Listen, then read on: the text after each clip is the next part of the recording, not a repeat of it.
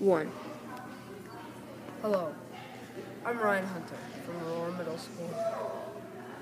Okay, a red bead equals a negative number, and a white bead equals a positive. So when you have two, one of each, they cancel each other out to make zero.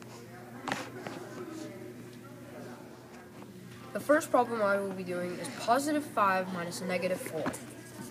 So the first thing we do is we get 5 positives. Then we will take 4 negatives. Oops. And then 4 positives. To cancel them out and to make groups of 0. Therefore not changing the value of 5. Then we will take away negative 4 to give, it our, give us our final answer of, of positive 9. Okay, the next problem I will be doing is positive 4 minus pos positive 7. So we'll take 4 beads, then we will make 7 groups of 0. It will still remain as positive 4 though.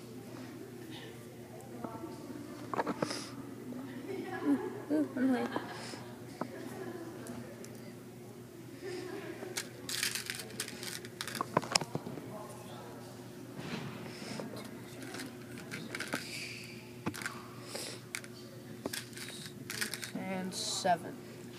Then we will take away positive 7. So we'll take away 7 positive beats.